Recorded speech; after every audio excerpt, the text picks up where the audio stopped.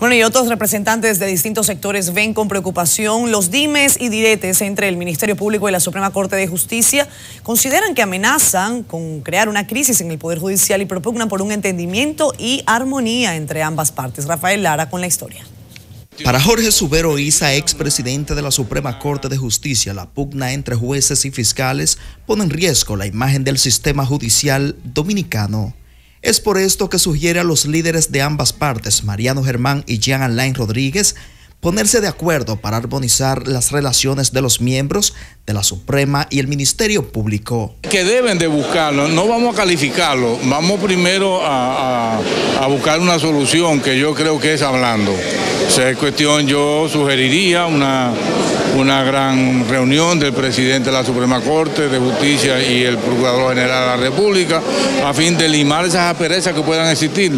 Eh, siempre va a haber rivalidad entre el Ministerio Público y los jueces, porque cada uno tiene un rol totalmente diferente. Igual posición sostiene Radamés Jiménez Peña, ex Procurador General de la República, quien asegura que no conviene a la sociedad dominicana que se siga deteriorando la imagen de la justicia. Siempre debe haber, eh, manejarse de la mejor manera las relaciones y en un clima de armonía entre ambos actores porque de todas maneras quien sale perjudicado de, esas confrontaciones básicamente lo es el propio sistema de justicia. Mientras que el juez Frank Soto prefiere mantener silencio ante el fuego cruzado que existe entre el Ministerio Público y la Suprema Corte de Justicia no, es que es el vocero de la Suprema. Él está encargado de hablar en nombre de la Suprema Corte de Justicia, no más nadie, ni yo ni, yo, ni nadie. En la guerra interna que persiste, el presidente de la Suprema Corte de Justicia, Mariano Germán,